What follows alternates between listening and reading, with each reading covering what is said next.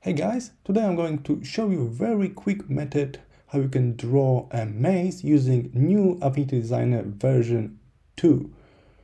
As you may know, they add a very handy tool called Shape Builder tool in the version 2. So we're going to use that. As you can see here, I have prepared some kind of grid. I got vertical and horizontal lines, as you can see. And we're going to use a shape builder property that can detect intersections to draw a maze inside this nice grid. So select both layers, pick shape builder tool from the left or right. Do not pick any action straight away. We don't want to click plus or minus, nothing selected here. And as the method of selection, we'll use line, not a freehand, but line. All right, you can also put checkboxes in everything else and we can start. Just click and then drag this line. You see, that's different than the freehand. It's line. And this is the first line. And I can start from exactly the same square over here. And if I make a mistake, I can hold shift and deselect some of those squares. So that's really nice. You don't need to worry about that. And this way you can build your maze wall by wall by selecting those squares that we create by doing this grid, every intersection with shape builder is treated as a separate shape.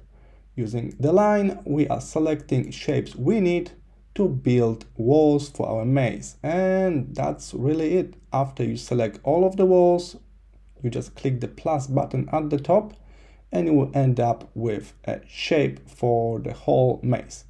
Alright, let me just speed up this video a little bit so I can finish my maze a little bit faster to show you the final result. This process is really simple and do not require any manual or artistic skills. We got a simple grid and we're drawing a line above the squares we want to add to our wall. And that's really it. As I mentioned, if you make a mistake, just hold shift on your keyboard and this way you'll be able to deselect some squares from your wall, alright? So try your best to draw interesting and hard maze and in case you want to use exactly same grid as me, you can download this file. I will drop the link in the description below the video, so feel free to grab my grid if you want to use that if you got feeling like you are too close or too far from those little squares, it's hard for you to select them, feel free to zoom in or out. You can do that by using a keyboard shortcut. I recommend this way. Simply Command or Control plus to zoom in and Command Control minus to zoom out.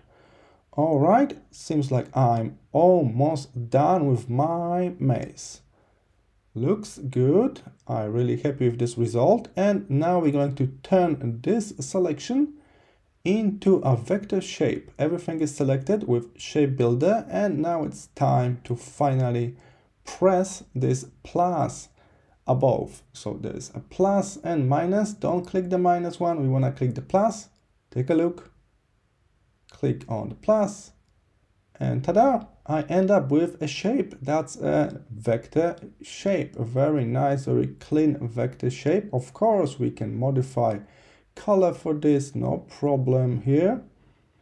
If you want to give it some kind of finishing touch maybe we can even grab a node tool and do some modification manually at the end. That's also possible. You can make some changes even after you create the shape. Or you can select everything with the corner tool and change your corners. In my case, I add some round corners, so it's not that squarish anymore. So we can use the corner tool on our maze as well to get a different result. You can uh, draw another rectangle and put it below your maze to have some kind of a proper backdrop, not just the white color from the artboard. Or you can modify the color of the artboard itself all right, so let's try that. I will make my maze a little bit darker. I will draw rectangle below the maze. So I draw it here and then send it back below the maze. All right. And let's add some special effect on the layer with the maze itself. So it's more like a neon. Maybe inner and outer glow will do. Hmm? So outer glow, we can change the color of the light as well something like that. All right. And then inner glow. And this time maybe something more like violet or pink. Cool. So now our maze is more like from the video game than a simple puzzle. All right. So that's totally up to you. You can apply some effects. You can round corners as you please. As i mentioned the link to the grid is in the description. You can grab my file and speed up your process this is probably the last tutorial before Christmas, so have a nice holiday season and I will see you in the next tutorial. Bye!